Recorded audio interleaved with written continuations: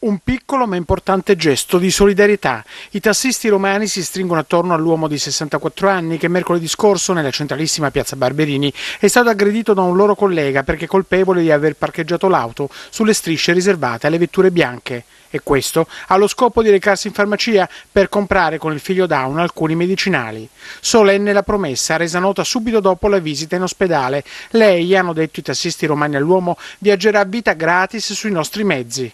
La categoria, spiega Alessandro Genovese dell'UGL Taxi, condanna fermamente qualsiasi forma di violenza e annuncia che si costituirà parte civile contro l'aggressore. Abbiamo scambiato gli auguri di Pasqua con la vittima e la sua famiglia, gli abbiamo portato un cesto di doni pasquali e dei buoni taxi perché ci auguriamo di averlo al più presto sulle nostre auto.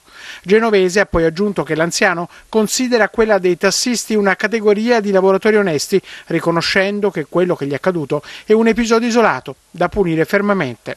Sabato il Campidoglio aveva già fatto la sua parte, sospendendo la licenza all'aggressore che è anche stato denunciato per lesioni.